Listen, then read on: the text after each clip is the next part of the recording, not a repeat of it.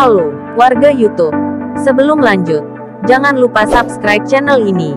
Karena subscribe itu gratis. Dan nyalakan lonceng notifikasinya. Agar kamu tidak ketinggalan biodata dan info seputar artis Indonesia.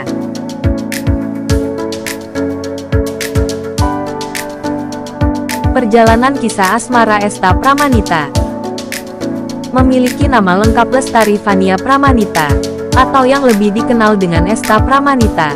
Lahir tanggal 3 April tahun 1999 di Jakarta.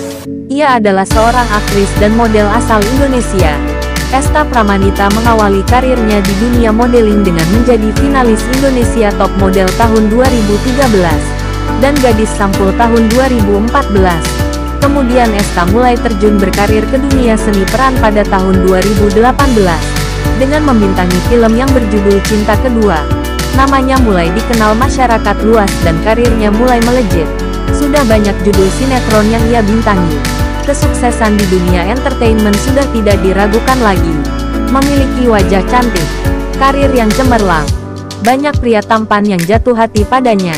Di antaranya,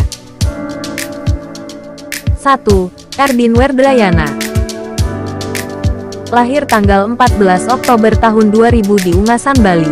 Ia adalah seorang aktor dan model asal Indonesia. Erdin pernah menjalin hubungan asmara dengan Esta Pramanita. Awal mula perkenalan mereka bertemu pertama kalinya dalam sebuah proyek. Kemudian mereka dipertemukan kembali dalam beberapa judul sinetron. Mereka juga sering mengunggah momen kebersamaannya di akun media sosial masing-masing. Namun kabar hubungan asmara mereka hanyalah gosip. Mereka dekat hanya sebatas teman dan rekan kerja saja. 2. Bara Valentino Memiliki nama lengkap Barakatullah Valentino Peter.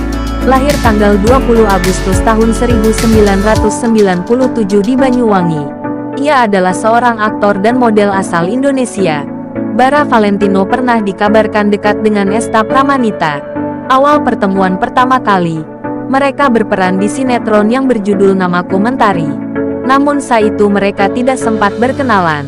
Keduanya baru mulai dekat saat membintangi sinetron yang berjudul Love Story The Series. Dalam film tersebut keduanya menjadi sepasang suami istri. Karena chemistry dalam sinetron tersebut membuat mereka dikabarkan terlibat cinta lokasi. Tidak hanya di lokasi syuting di balik layar pun mereka terlihat dekat dan sering bersama.